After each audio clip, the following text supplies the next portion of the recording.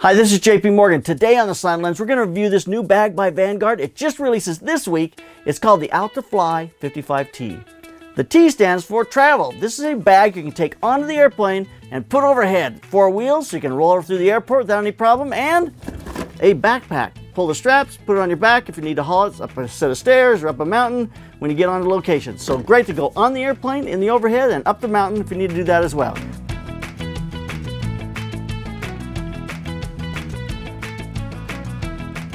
So some of the features that make this bag very interesting to me. First and foremost is the fact that it does have four wheels. I mean, everyone loves the four wheels. You got a handle that comes out, so you can just simply pull this along. It's on four wheels. You can stand it next to you. Jeline always laughs because she takes this kind, this bag and she pushes it along with one hand while I'm working and struggling with my big, heavy, heavy bags. Open it up and got a great inside. Got a net to hold your stuff in place if you're going to open it up uh, more vertical. Can unzip this and we just got plenty of room in here. You can easily get two cameras with lenses and several other lenses along the sides.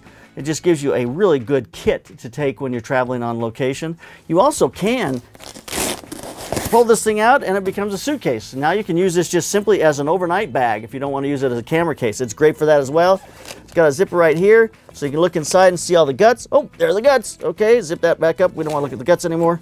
So it's just a great travel bag with regards to you got your, your bag here if you want to travel with it. In the front here, you've got a pouch here if you want to put your laptop, which is fabulous. You can slide your laptop in here, which is easy to travel with in that. On the front, we have, we'll put this back in. See, it goes in and out really easy. A little Velcro on there, back in and ready to go again. In the top here, we've got a, a rain cover that'll cover the entire uh, case. And we've got a, a, lock, a security lock. If you want to put a TSA lock, you can put on it as a carry-on airport uh, bag. Back, we got we got our straps. If we want to make this a backpack, these pull off, connect to this, the uh, waist strap, and now we've got ourselves a backpack.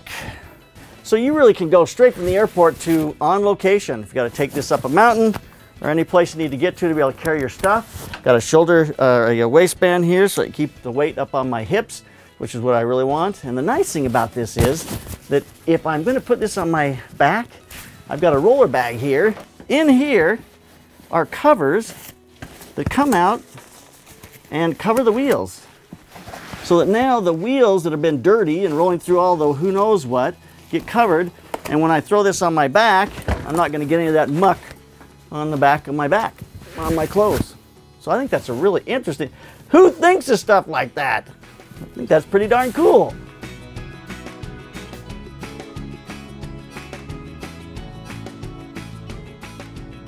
So this front pouch is really interesting to me because in here, Vanguard always has this, which I think is really a great concept. And that is they've got a place to put cards that are not shot, and then you have red for cards which have been exposed. So you can put your cards in here, have this on the side here, and put all your uh, SD cards in there so you know that they're they're taken care of and on your back and not going to drop out and fall somewhere. So I thought that was really interesting. All kinds of zippers, other pockets, pockets behind pockets for pockets. So a bag like this would not be complete unless you could carry a tripod. Right on the side here, we got a little pouch. It's going to house our tripod. So we'll pull that guy out. So this is the Alta Pro 2 Plus. It's going to just fit right in there. And then this strap's just going to come around it. I'm to click that right on there. Easy peasy. Got our tripod in place and ready to go. That's a great little pouch on the side. Puts that tripod so it's gonna not hit your elbows and arms. It's up high enough that it won't hit your elbows as you're walking. And it gets it up here where it's not gonna bother anything. We got an excellent handle on the side here, which I love that. Anytime you have handles on the side, so you can pick it up and just carry it like a suitcase, because a lot of times you need to do that. This works with the tripod. You can carry it just like that if you need to. But there's a lot of different ways we can configure this. So let's look at, let's lay it down. Okay, so we can get in here a Mark III with a 7200 millimeter lens. I'll put a 2470, a 90, and a 35, a 15 to 30, and an 85, and two batteries, a light meter, because that's just the way I am, a couple extra batteries, and cards, and a Leatherman. And then, oh, you can't put a Leatherman on the airplane. Get that out of there. And last of all, my 15 inch laptop. And drop this up here on top, pull this over so it closes it in. And now we zip this baby up. And we are ready to go.